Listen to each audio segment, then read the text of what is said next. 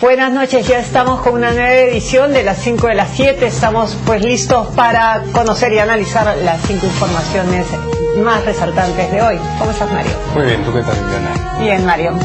¿Cómo están, amigos? Buenas noches, bienvenidos al programa. Hoy día nos acompaña el congresista Yehude Simón de Alianza por el Gran Cambio, vicepresidente del Congreso también, y la congresista de Fuerza 2011, Cecilia Chacón. O sea que tenemos un, una mini sesión de la comisión permanente acá en el programa las 5 de las 7. Y con ellos vamos a analizar las cinco noticias siguientes. La primera, la popularidad del presidente Humala bajó del 45 al 40% en el último mes, según una encuesta nacional de Ipsos Apoyo. El sondeo revela también que un 57% desaprueba la actuación de Daniela Bugatás como presidente del Congreso.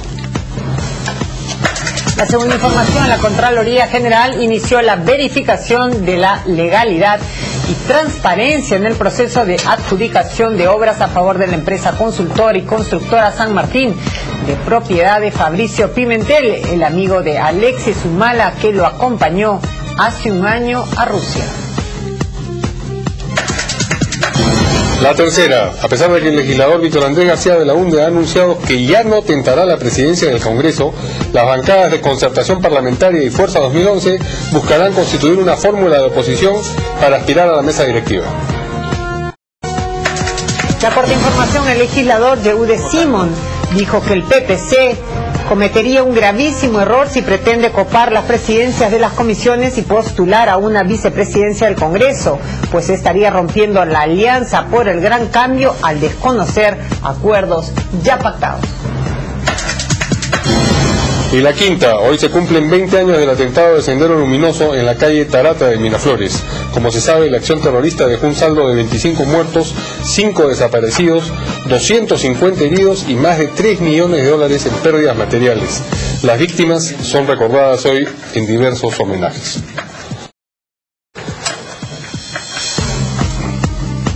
Bien, saludo nuevamente a nuestros invitados, los congresistas Cecilia Chacón y eh, Yehude Simón. ¿Cómo están? Buenas noches.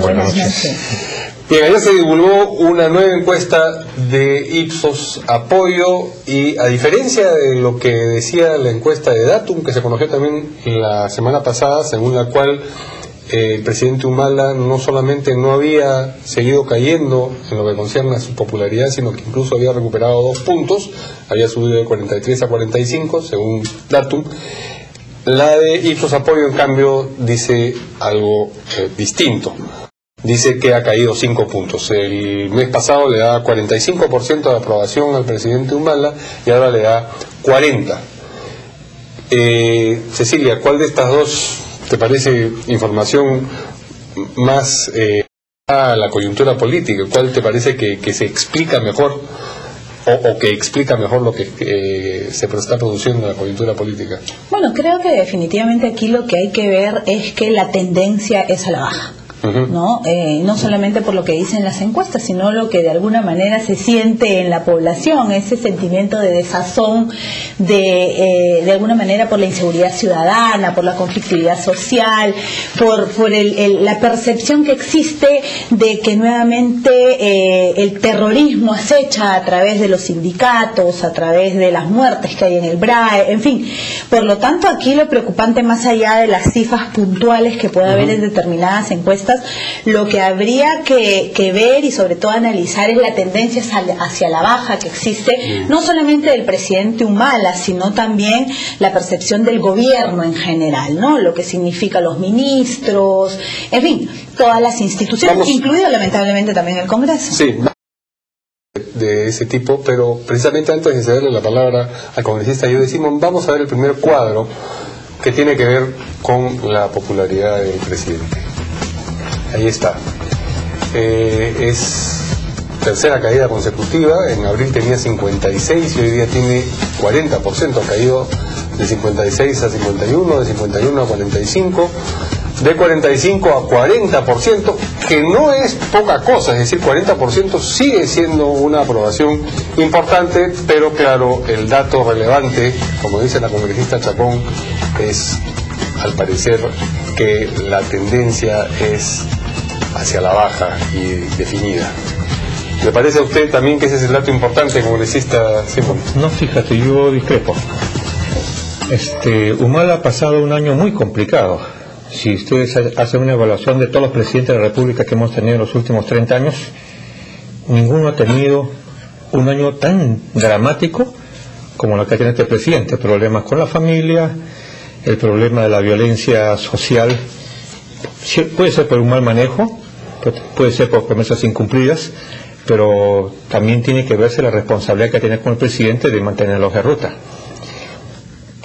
El Congreso de la República, ellos tienen un partido no, no ordenado, un poco disciplinado pero no ordenado, y entonces ahí tienes otro presidente hubiera bajado el 6%. Yo quiero recordar cuál ha sido, cuáles son, después de un año de gestión, cuál ha sido el, porcentaje de aceptación que han tenido los últimos presidentes de la República y ninguno llegó a 40%. por eso decía yo que 40% sigue siendo una cifra importante, pero le preguntaba si es un dato relevante el hecho de que cuatro meses consecutivos la línea sea descendente. Hay problemas serios en Cajamarca, este, los grupos no la población de Cajamarca, yo quiero separar la población de los dirigentes, hay todo un, un, enfrentamiento así, disculpe digo, pero de manera frontal contra lo que está haciendo el presidente de la República, el sur del país está movido, la Amazonía sigue olvidada, entonces era evidente que esto se venía a venir. Yo no, más bien a mí me sorprende que me haya caído más rápido, porque él cambió, ¿no es cierto? Tuvo un discurso de cinco años el presidente de la República y, la práctica de ahora es absolutamente diferente, pero tiene 40%. Entonces, yo supongo que con la ayuda de los sacerdotes, este, si Santos y los dirigentes no se dan cuenta o se dan cuenta de que estamos introduciendo al país a un abismo con esta crisis internacional que ya se en Europa, en España, eh, la recesión que comienza a vivirse allá en la China. O... Entonces, vamos a tener una situación complicada. Si ellos no asumen eso y, comienzan a atender puentes y resolver el problema de Conga, que va a ser fundamental para el crecimiento de la aceptación o no del presidente de la República, o la forma como el presidente de la República resuelva, entonces crece. Si no, Evidentemente, próximamente tendremos 39%, pero sigue siendo alto. No te olvides que el presidente Toledo llegó a tener 6% e hizo buen gobierno. Congresista, si tratamos de, digamos, precisar el cuadro que hemos observado con determinada coyuntura que sucedió en nuestro país, podemos ver que en el diciembre el presidente tenía un 47% de aprobación a pesar del problema de Conga que ya se vislumbraba. Los primeros meses de este año el problema de Conga ya estaba acentuado. Él seguía con esa popularidad, digamos, ese porcentaje de popularidad e incluso en abril tiene un 56%. Claro, esto es probablemente antes de las muertes ocurridas luego y de eh, lo marcado del antagonismo como hoy se presenta. Sin embargo, lo que voy es que el conflicto ya está. Y él empieza a tener esa eh, caída abrupta en los últimos dos, tres meses, eh, situación que no cambia y que parece va a continuar. ¿Qué es lo que podría revertir esa situación? Bueno, yo quiero aquí precisar algunas cosas, ¿no? Si bien es cierto, el presidente Toledo efectivamente llegó a tener menos de 6%, fue el último año de su gobierno. Recordemos que Ollanta no, va, no ha cumplido aún, aunque ya está cerca, del primer año. Y donde tiene esta aprobación de 40%, mira tú las casualidades por la derecha, por la clase alta, por la clase A que antes era el que se oponía a él. Y de alguna manera tiene esta aprobación porque las expectativas que habían de este sector que ahora este, lo están manteniendo en ese porcentaje de aprobación, eh, eh, las expectativas de estas personas eran prácticamente nulas porque creían pues que nos íbamos a acercar al chavismo. Entonces no necesariamente es una aprobación a su gestión, no es que crean que están haciendo, que está haciendo las cosas bien, sino que tratan pues de lo que están aprobando es que no siga el camino que lo llevó a ganar en la primera vuelta, sino la hoja de ruta que nosotros obviamente también saludamos. O sea, lo que lo aprueban ha cambiado simplemente el espectro, una clase ha reemplazado a la otra. Así es, así es, porque efectivamente, porque definitivamente llega a la primera, a la segunda vuelta con el apoyo de, básicamente los radicales, no, este, gente eh, que quiere un cambio del modelo económico, un cambio en general de todas las bases, las estructuras, etcétera, etcétera, y con la hoja de ruta llega a ganar la presidencia de la República y él se da cuenta que efectivamente la mayoría de peruanos quieren que siga con el crecimiento económico que se puso las bases en los 90 y ese modelo económico. Entonces eso hace que ahora más bien la gente que estaba eh, en contra de su elección sea la que ahora lo mantiene con ese con ese 40%. Pero además de eso yo sí discrepo de que de que esta, eh, los problemas que existen ahora son los peores que han habido en 30 años. No olvidemos la crisis económica que hubo después del primer gobierno aprista, donde había una hiperinflación galopante que no existe ahora y donde efectivamente vamos a mencionar el tema de Tarata, por ejemplo, que fue un hasta aquí, un basta allá de, eh, de movimientos terroristas que eran realmente perniciosos para el país. Por lo tanto, yo creo que más allá de los hechos concretos, como tú has dicho perfectamente, porque ya existía el tema Conga, etcétera, etcétera, es la falta de liderazgo, la falta de decisión, la falta de una política clara, de una política de Estado que diga, bueno, estos son los problemas porque hay gente a la que no le ha gustado que cambie de discurso, pero la solución está cercana. Sin embargo, no vemos realmente una solución a corto plazo y creo que esa falta de liderazgo y de decisión es lo que está perjudicando, eh, lo está perjudicando en sus encuestas. Porque, insisto, el problema no es la cantidad de aprobación que tienen, si 40, si 50, es la tendencia a la baja galopante que estamos viendo. Pero, digamos, puede haber habido un enroque en el sentido de cuál es el, el sector político o ideológico que lo apoya, pero no, no es solamente la clase A, porque si toda la clase unánimemente A junta a apoyar a Anual, no le daría ni para el 5%. Es el que, tiene, es el que donde tiene mayor aprobación, no lo digo yo, lo dice justamente. No, ya, pero es, es, es marginal, pues, eh, para la o sea, tiene un apoyo eh, básicamente del sector A, que si no lo tuviera en ese sentido, sino que tuviera la aprobación que tenía antes, sería mucho menor al 40%. vamos a ver otros, otros cuadros que tenemos de esta misma encuesta de eh, apoyo, que estos cuadros tienen que ver con la aprobación del gobierno, percepción general, eh, aprueba 31%, desaprueba 61%, no opina, no precisa, 8%, es decir, casi el doble de desaprobación que de aprobación, es decir, le da peor al gobierno que al presidente, el presidente todavía retiene algún tipo de magnetismo. A ver el siguiente cuadro a la aprobación de instituciones y autoridades, en el caso de Óscar Valdés, lo aprueba 22%, lo desaprueba 54%. Es curioso, la desaprobación del gobierno es más alta que la de Valdés con el argumento con el que quieren eh, decir que tiene que irse Valdés, tendría que irse el gobierno. Y en el caso del presidente del Congreso, 29% lo aprueba y lo desaprueba, 57%, es decir, la desaprobación de Daniel Aguataz, si bien son tareas distintas, las que tiene él y el primer ministro, es más alta la de Aguataz. Bien, eh, respecto al ministro Castilla, el ministro de Economía, lo aprueba el 32% y lo desaprueba el 43%. Y por su parte, la primera dama, Nadine Heredia, eh, su aprobación es del 55%, la más alta de todas las autoridades que estamos viendo, y la desaprueba el 35%. No es autoridad, hay que aclarar. Es cierto, es cierto. Esa es la confusión, digamos. Aunque que... parezca. Sí. La representante del gobierno. No, no, sí, no, no lo digo por, por sino que a veces estamos en... Dudé en qué término utilizar, Mario, pero para que digamos que ya que la mayoría de autoridades... Personalidades políticas, digamos, ¿no? Perfecto, más preciso. Bien.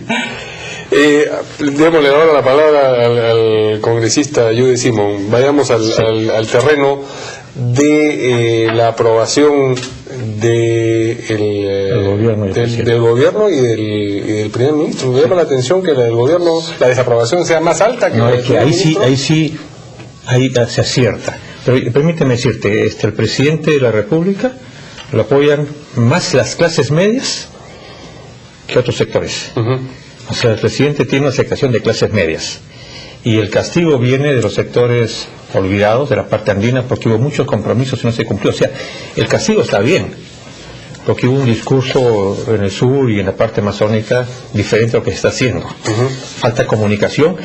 Y yo sí te digo algo que lo vengo diciendo hace mucho tiempo. Yo creo que ni la derecha, ni la ultraderecha, ni la ultraizquierda están haciendo las cosas bien y lo que están buscando es acabar con este proceso democrático.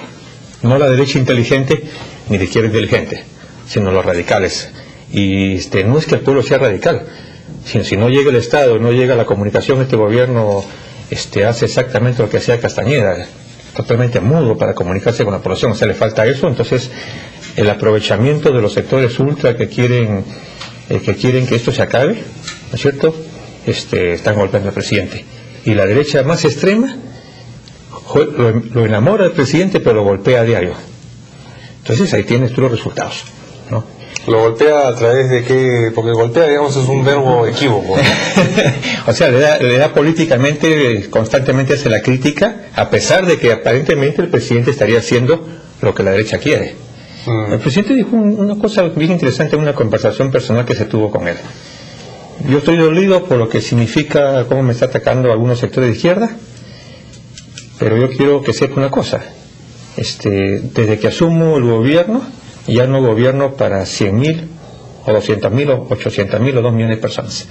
Gobierno para 29 millones de peruanos que son de derecha, de izquierda, de centro y por último no son de nada.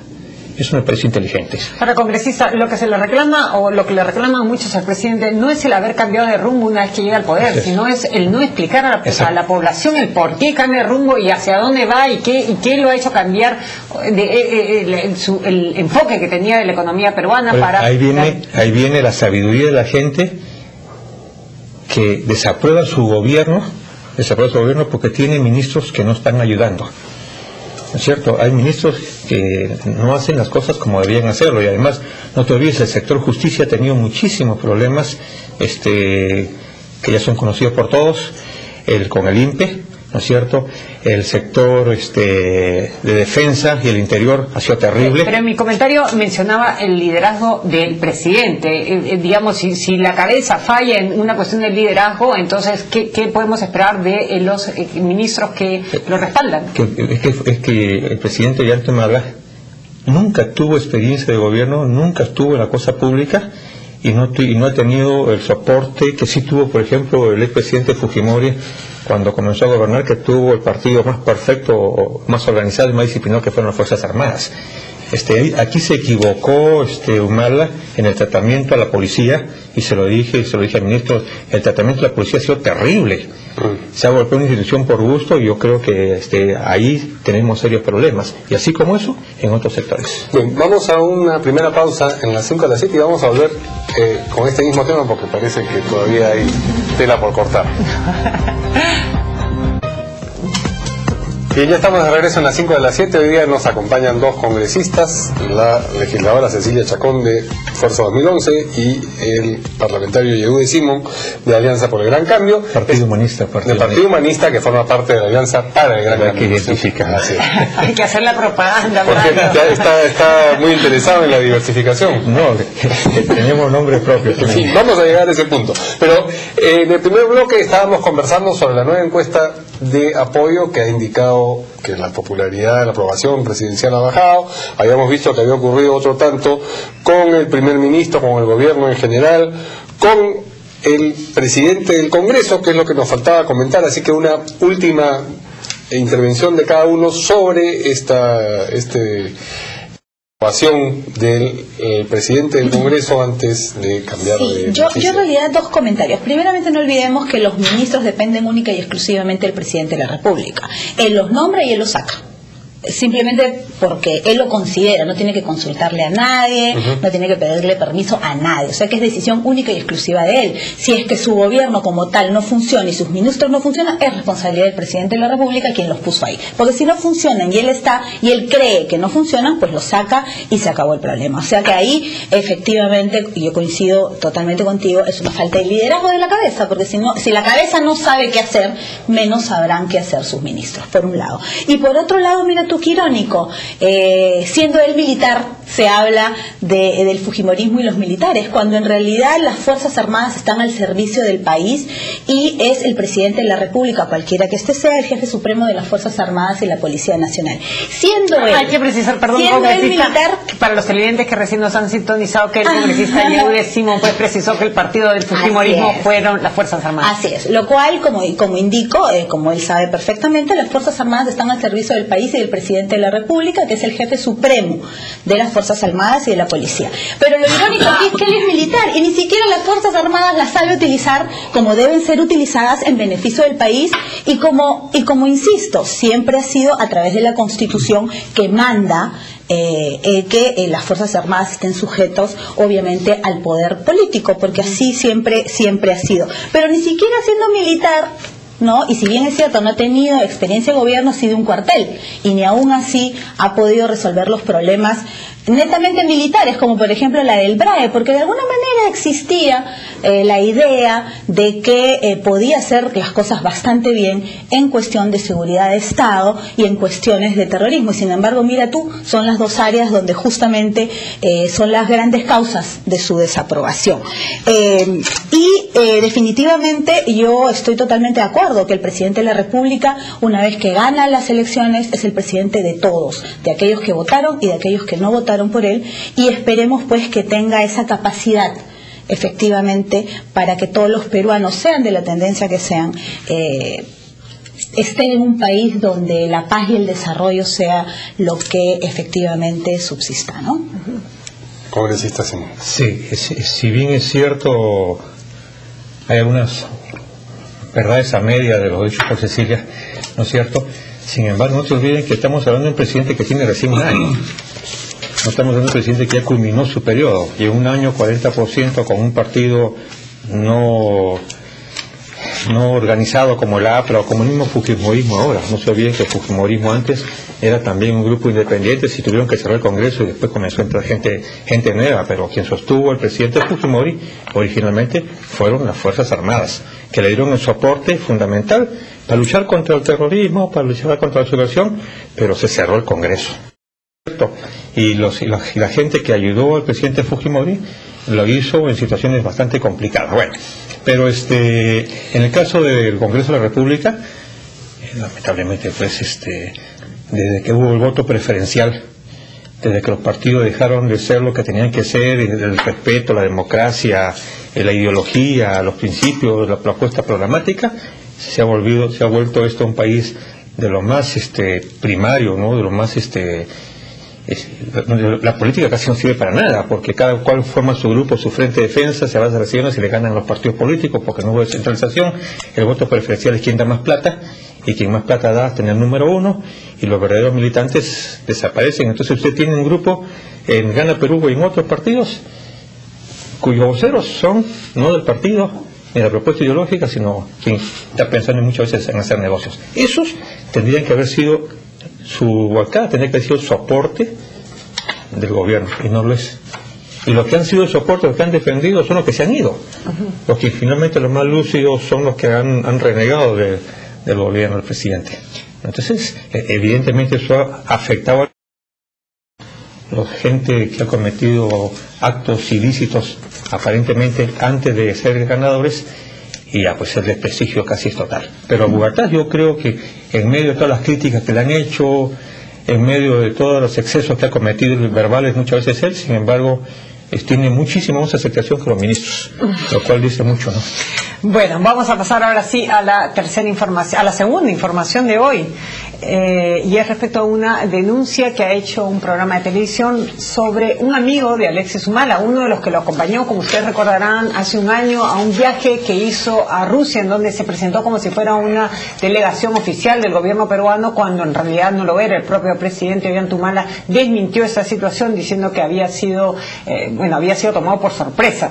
Eh, Fabricio Pimentel es un empresario que en el año 2009 su empresa la consultora y constructora San Martín eh, facturó por un monto de 49 mil soles. Este año eh, la empresa en lo que va del año ha facturado 7 millones de soles, es decir, un 14 mil por ciento de incremento. Esta situación, por, por, supuesto, ha llamado la atención respecto al repentino auge empresarial de Fabricio Pimentel y su empresa, quien este año ha ganado ya licitaciones para eh, obras públicas de agua potable y alcantarillado en tres municipios en el interior del país. Estos son Huánuco, eh, Junín y el tercero, me falta. Huánuco, Junín y San Martín. En los tres sitios por montos diferentes que ascienden a los 14 millones de soles, ha ganado la Buena Pro eh, y se cuestiona la forma en que estos han sido adjudicados, pero sobre todo la forma congresista en la que eh, Fabricio Pimentel ha pasado a ser de un pues eh, mediano empresario a uno de una situación económica envidiable para muchos. Bueno, qué buen negocio es ser amigo de Alexis Humala, ¿no? Irse de viaje con él. Definitivamente no creo que muchos puedan decir lo mismo. Este viaje se hizo, no nos olvidemos, antes de que el Congreso entrara en funciones eh, completas, por decirlo de alguna manera, y de alguna manera pasó, pasó piola que efectivamente luego vinieron un sinfín de cosas. Sin embargo, vuelve nuevamente al tapete el cuestionamiento acerca de este viaje que fue bastante extraño, donde estuvieron, estuvo un congresista de Gana Perú, el hermano del presidente, y ahora este, este buen amigo que tiene tanta suerte, mira tú, este, en estos negocios, pero que además se ha asociado para ganar la licitación con empresas que en realidad no tendrían por qué haberse asociado con él, que es chiquitito, es pequeño. Entonces la pregunta es, eh, ahora el capital el mayor capital que puede tener una empresa es haber viajado con Alexis Humala, al menos un hermano que le queda que este es negocio ser amigo, porque lo que es el resto de la familia no hacen otra cosa que atacarlo. Así que esto es un tema bastante preocupante y cuestionable, ¿no? Y vuelve, eh, insisto, al tapete el hecho de este viaje que fue tan extraño y que eh, nos lleva a muchas dudas y a muchas preguntas. Pero licitaciones que ha ganado eh, la empresa de este caballero Pimentel son licitaciones con municipalidades, no son licitaciones con el gobierno central. La suspicacia, digamos, inicial se produjo cuando se pensaba que en la medida en que era amigo de hermano de un hermano del presidente, pues eso podía favorecerlo eh, con eso, el gobierno central. Pero habría que ver, no sé si, la, si bien esos municipios... dio el presupuesto a las municipalidades para que pueda licitar? Habría también que averiguar. No, porque el presupuesto tiene que dar el Estado. Así es, entonces ah, por ahí viene también el cuestionamiento, ¿no? O sea, qué fácil ganan de repente ¿Qué impresión, disculpa, qué impresión tiene de las más malas? Pues de las más malas, es lamentable, ¿no es cierto? Este, dice que la mujer de César son, no solamente debe ser pura, sino para ser pura, y esto es una continuidad, ¿no? Esto se repite constantemente con todos los gobiernos, o con muchos gobiernos, y es lamentable que al, al año de gobierno tengamos que la noticia del hermano del presidente y el amigo del presidente este, comete esta burrada gigantesca, ¿no es cierto? Porque más que por más que el procurador o el controlador general de la República diga que todo está en orden, está en orden, pero está también manipulado. uno sabe, uno que ha sido ejecutivo, sabe perfectamente cómo se hacen las licitaciones. Pero es igual de inquietante lo que sucede con el hermano del presidente que con el hermano del vicepresidente, ¿no? Me refiero al caso Chejade. No, no son dos cosas diferentes, fíjate. Son dos cosas diferentes porque a, Chejade se le castigó duramente. Yo lo había dicho públicamente porque hacia dónde vas, ¿no es cierto? Sí, no, claro, voy ahí. Yo lo, yo lo dije públicamente en RPP justamente y en otros medios de comunicación. Antes de que suceda todo esto, obligué, le pedí públicamente a Chejade que diga la verdad, porque estaba mintiendo. Yo nunca, nunca he dicho que no estaba mintiendo, que diga la verdad. Y segundo, si dice la verdad, le va a salir mucha más barata porque va a reconocer que cometió un error. Y le pedí la renuncia a la, a la, segunda vicepresidencia y pedí que se le castigue. Yo voté por su castigo. Lo otro me pareció un exceso. Pero yo decía, si le parecía que había algo turbio, había cuenta del parentesco, a, mismo parentesco, misma inquietud, diría yo, ¿o no? había misma inquietud, pero con una diferencia.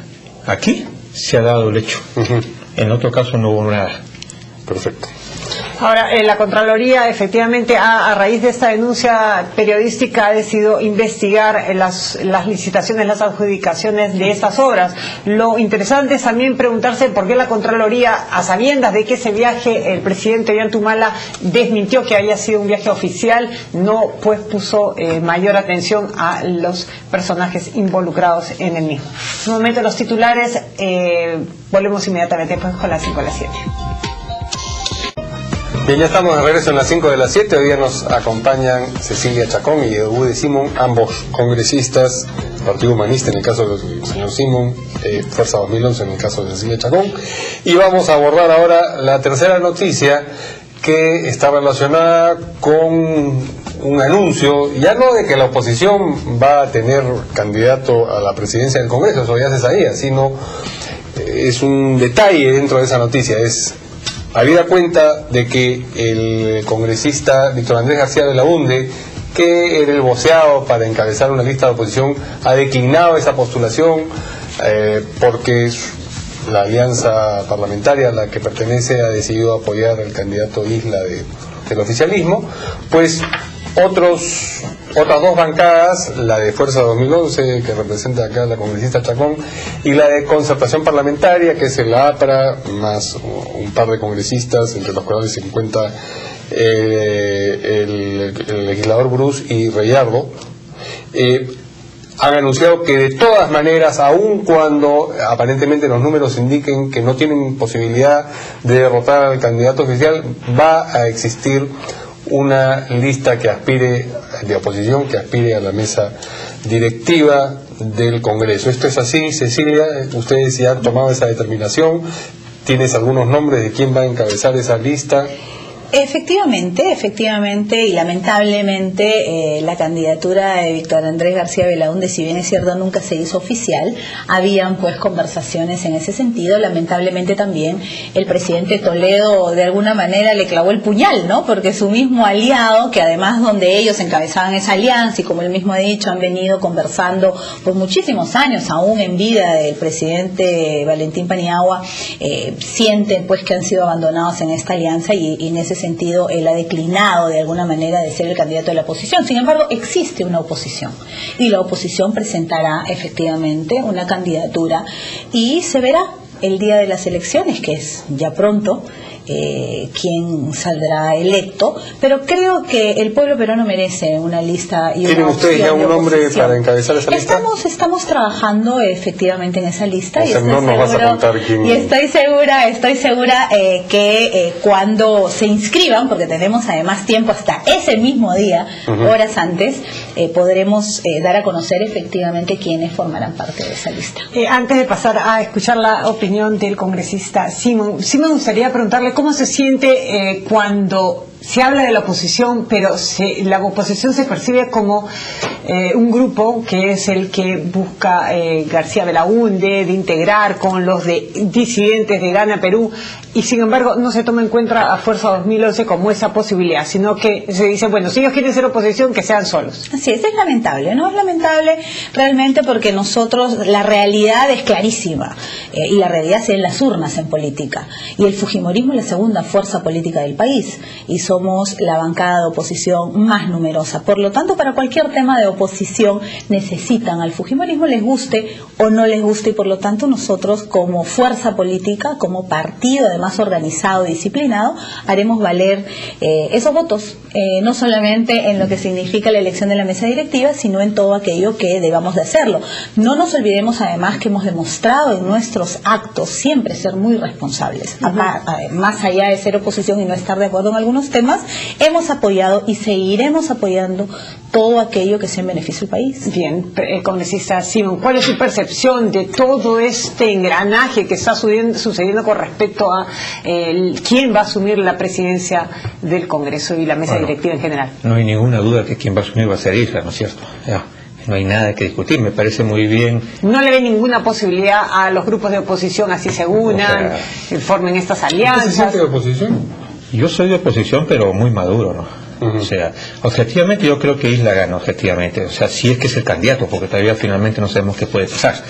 Pero este, que el gobierno va a tener por segundo año el Congreso, no tengo ninguna duda. Además, este, el Fujimorismo con todo derecho, me parece que es legítimo, va a participar en la lista y hay que respetarla.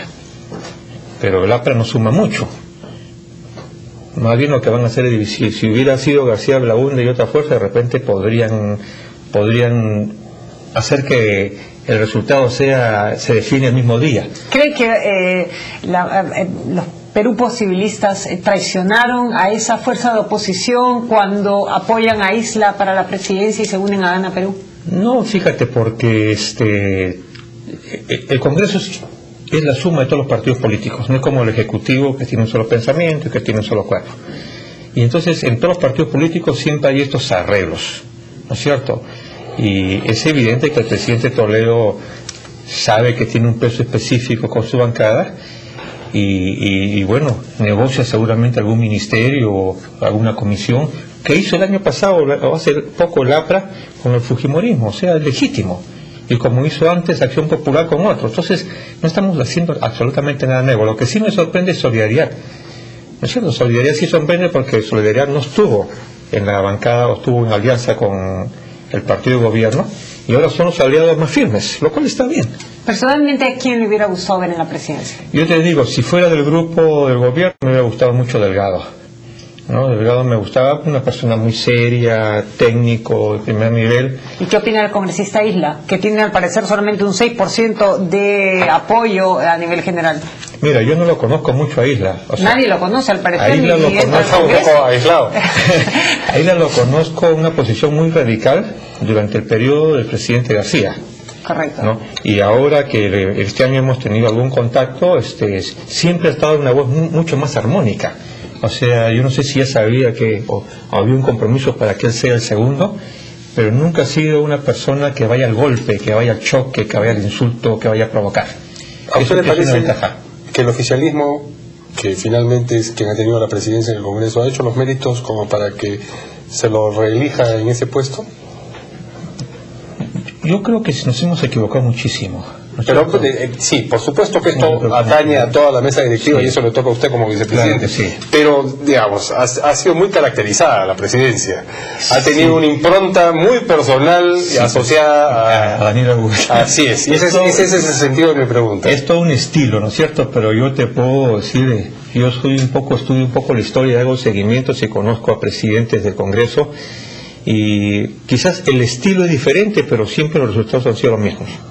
¿De acuerdo? O sea, este, el presidente, un presidente del Congreso está muy maniatado porque cuando no tiene mayoría tiene que jugar contra las fuerzas políticas. Yo te puedo asegurar que Daniel Bogotá tiene muy buena relación con el Fujimorismo en las relaciones personales y ya muy bien. Yo he participado en muchas, muchas reuniones. Ha tenido aciertos y desaciertos, pero este, el año, el año los, los problemas que ha tenido Bogotá ha sido porque se le fue muchas veces la lengua y no, y no, no tuvo este, fue esclavo de su lengua y no de su cabeza.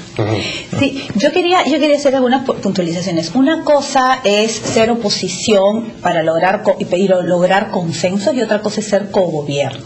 Y obviamente Perú Posible es un cogobierno del humanismo que son cosas muy distintas. Y si bien es cierto el Fujimorismo estuvo en la mesa con el aprismo, nosotros jamás negociamos ningún ministerio, ni ningún puesto, ni ninguna, ni nada. Es más, se ha visto en la práctica, se acusó mucho este, los tratos debajo de la mesa, pero en la práctica hemos visto que todo lo que se decía era totalmente falso. Porque el presidente... No es inválido en todo caso tampoco. No, no es inválido. No, no, no, estoy haciendo simplemente la una precisión. Una precisión. Este, pero sí me parece de muy mal gusto que cada vez que hay algo que negociar, el presidente Toledo termine en palacio y luego salga con banderita blanca, ¿no? Creo que eh, para quienes en algún momento confiaron en él eh, como oposición y, y esperando no haga negocios para él o para su partido, sino en beneficio del país, eh, creo que podría verse de otra manera y tendría que tener otro estilo en, ese sentido. Pero además de eso, efectivamente, eh, de manera personal, con, con Daniela Bogatás, yo he trabajado igualmente con, con Víctor Isla en el Congreso pasado, este, hay una estima personal, eh, sí han habido desaciertos que creo que se reflejan totalmente en las encuestas, no solamente en lo que es la aceptación del Congreso, sino también de él. En el caso de Víctor Isla, él ha tenido un discurso anterior pro-chavista, pero que era también el de su líder, que ahora es el presidente de la República. Su líder, presidente de la República, ahora cambió de discurso, él también. Entonces, en los dos casos creo que es válido, ¿no?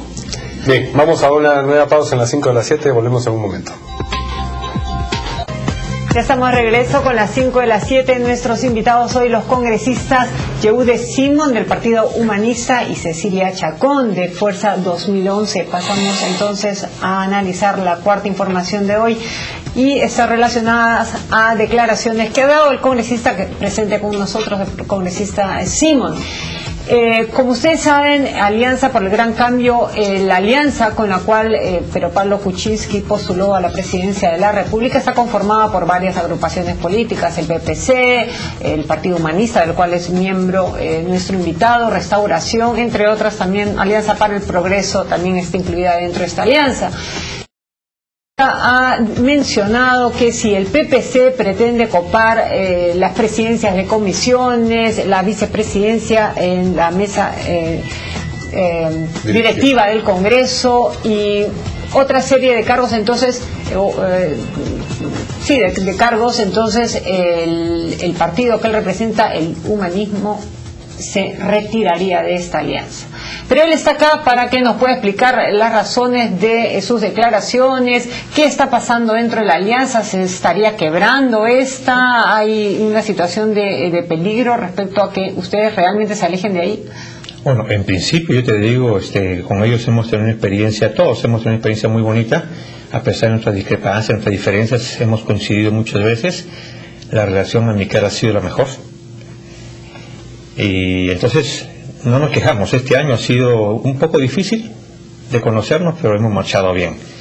Entonces, a raíz de las declaraciones primero de Javier Bedoya, ¿no? Luego... ¿Cuáles, cuáles declaraciones Javier Bedoya dijo el PPC este, que se quede con una comisión y somos el PPC y punto.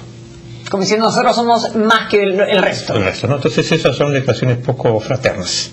¿no? Uno puede haber eh, votado diferente, como ellos también han votado diferente, pero nunca llegamos a ese nivel. Después, este congresista Galarreta criticando duramente a la diciendo lo único que vale es su techo. Ah, o sea, lo, de, lo, lo, de, lo criticó directamente usted. Claro, ¿no?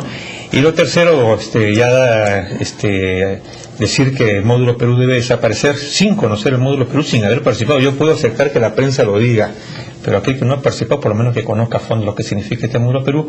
Y finalmente, declaraciones de Raúl Castro diciendo el PPC tiene tantos congresistas y queremos la vicepresidencia y queremos las comisiones y la noche de ayer también Iberico.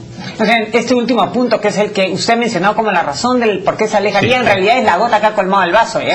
lo otro es manejable, lo otro es manejable. Pero entonces, este, yo quiero contarles, cuando nosotros nos reunimos quedamos lo siguiente, los que ocupan cargos ahora no ocupan cargos al siguiente año. O sea, con la finalidad de que todos tengan una experiencia. Segundo, ellos nunca quisieron la mesa. Este, la aceptaron por mi pedido porque además era importante estar en la mesa directiva para ver cómo se manejan las cosas. Llegamos al segundo año y ahora ellos tienen comisiones y quieren, eh, quieren también una vocería. Nosotros hemos dicho lo siguiente, te digo nosotros porque no hablo también solamente a título personal, sino que hablé con la gente de Alianza para el Progreso y también con el representante de PPK, Enrique Wong, no he hablado con Lai. Dijimos, el año pasado han sido tres ellos y uno nosotros. Muy bien, este año considerando el número de ellos, que son dos más que nosotros. Ellos tienen siete, representantes, cinco, cinco, Pero con la, con la independencia de Lourdes Alcorta y la independencia de Gaby Pérez. ¿No es cierto? Este, Lourdes Alcorta, si bien es cierto, está allí, pero se identifica con todos y defiende al grupo Alianza Cambio. No te olvides que Lourdes Alcorta fue vetada por un sector del PPC, ¿no es cierto? Y quien la trajo fue PPK. Y lo criticaron durísimo PPK, pero Lourdes está ahí por PPK. Entonces lo que nosotros estamos planteando es dos a dos. El candidato mío para la mesa directiva es que este año sea Alianza para el Progreso o Enrique Wong. ¿no?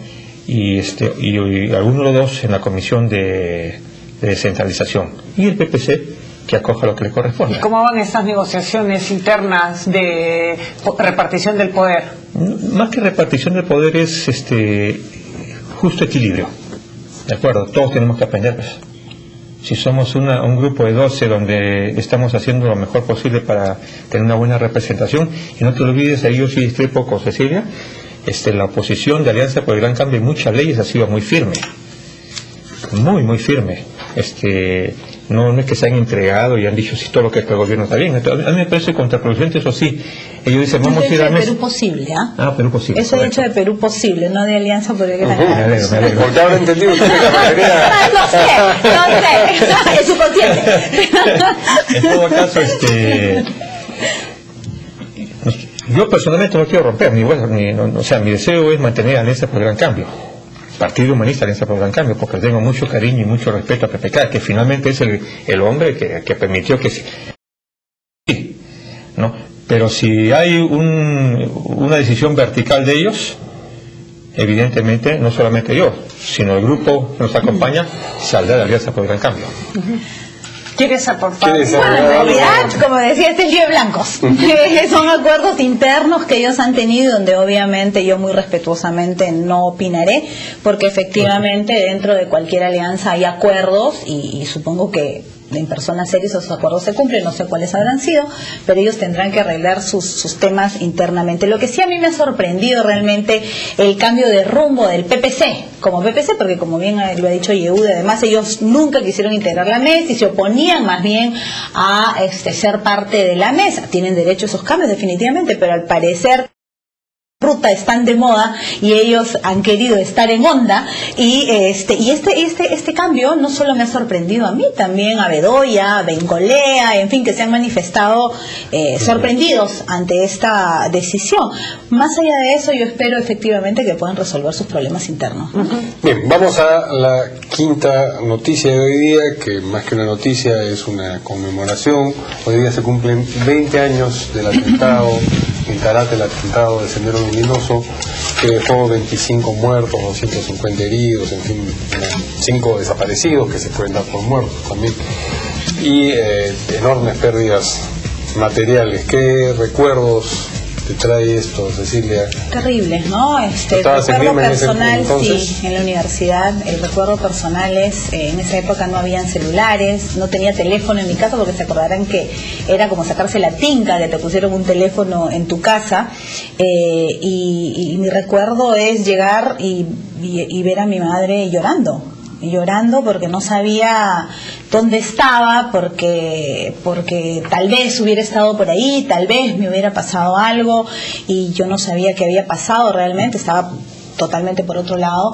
Y fueron unas angustias terribles. Luego yo tenía una amiga que vivía en Tarata que gracias a Dios no estuvo en ese momento en, en su casa. Pero creo que todos los peruanos pasamos momentos de angustia de terror eh, y de alguna manera Tarata significa un hasta aquí ¿no? Creo que se dejó de ver el terrorismo como un problema del interior del país, se lo dejó de ver de lejos y todos asumieron que era un problema de todos y que era un problema de todo el país, que el país in- en el interior se había desangrado por muchísimos años, pero mientras no tocara a veces Lima, la verdad es que no se tomaban las decisiones necesarias. Sin embargo, no nos olvidemos que los tres días de lo que sucedió en Tarata hubo la primera marcha por la paz con gente de Villa El Salvador, de Miraflores, este, de, de Surco, etcétera, de, de- de todo, de todo, de todo Lima, una marcha que creo que fue el inicio, eh, insisto, de, de- de un hasta aquí. No nos olvidemos que, que de alguna manera Tarata es la demostración de la unión del país contra el terror que espero que nunca más se vuelva a repetir y Tarata tenemos que recordarlo porque fue terrible esas imágenes una muestra de lo que fue el terror en el país y que esperemos no vuelva a suceder Ahora, congresista, se habla mucho de recordar lo sucedido en Tarata, pero estamos hablando de 20 años. Las generaciones eh, de hoy no tienen idea de lo que significó, lo que implicó, lo que fue para quienes sí vivimos esa experiencia eh, del terrorismo tan cercana. Eh, ¿Cómo se puede hacer llegar justamente a esta nueva generación, que es la mayoría de la población del Perú, lo que implicó esta situación? Porque ya no se trata de recordar, nosotros lo vamos a recordar siempre, pero ellos no tienen una noción real de lo que pasaba en el país. Siempre parece que los años hacen olvidar muy pronto las cosas, ¿no? Yo recuerdo eh, ese día porque estuve preso. ¿Dónde, ah, ¿Por algún motivo político? No, o- Claro, ya, había, ya, ya estaba usted en prisión. en Estaba, estaba, estaba recién un día, dos días Claro. detenido. Y este, pero primero de- decir lo que dijo Cecilia, ¿no? Este, que me parece muy importante. Nunca Lima se da cuenta de las cosas hasta que le sucede. Ya no había, había muchos coches bombas que habían afectado Villa El Salvador, habían afectado El centro de Lima, sí, el centro de Lima, el Callao y todo, pero Bueno, en provincias de 10 años antes ya estaban padeciendo asesinatos. Sucede eso, yo recuerdo mucho eso porque no solamente fue doloroso ver las imágenes, sino pensar cómo sufrían las familias, sino por el hecho de cómo ellos celebraban ese hecho. ¿No? Decía, claro, están enojados porque han golpeado a la burguesía, decía, ¿no? Entonces, o sea, no tenían conciencia o, tenían una conciencia ultra criminal para poder incluso justificar un hecho que si decían que era leninista, pues nunca leyeron a Lenin. Lenin siempre contra el terrorismo, ¿no? Lenin dec- decía el terrorismo es, es la derrota para su movimiento, en fin. Pero lo que tú dices es tan cierto, fíjate que el día de hoy yo recibí la visita de un grupo de jóvenes y eso lo voy a decir públicamente para que el ministro del Interior se preocupe, donde los grupos del Mofadef o la gente legal de este sendero van a las universidades y van a los centros a exigir a los jóvenes que sean parte de ellos. Entonces muchos jóvenes no, les interesa ver la historia ni, ni recordar la historia. Entonces están amenazando a la gente. Entonces si no despertamos ahora, de aquí a un poco tiempo vamos a volver a repetirla. Y el BRAE es una demostración de ello. Aquí no solamente este, es el presidente Humala, sino es no solamente el ejército, es todo el Estado quien tiene que poner fuerza para poder destruirlo, porque ellos están hoy día muy aliados al narcotráfico. Entonces ahí creo que hay, que hacer las cosas bien y creo que el papel de la prensa es fundamental en algunos medios de comunicación de lo que significó el terrorismo, los coches bombas, eso hay que decirlo, hay que hacerlo constantemente. Yo quiero decir muy breve, solo para terminar, que no solamente los años han ayudado a que se olvide el terrorismo. Bien, les agradecemos a nuestros invitados de esta noche, Cecilia Chacón y Eduardo Simón, ambos congresistas. Ha sido todo por hoy en las 5 de las 7 y nos dejamos con Javier Ávila en la Central de Información. ¿Qué tal, Javier? Buenas noches. Buenas noches, Mario. Buenas noches, Viviana. Gracias por el pase. Aquí estamos ya listos en la Central de Información.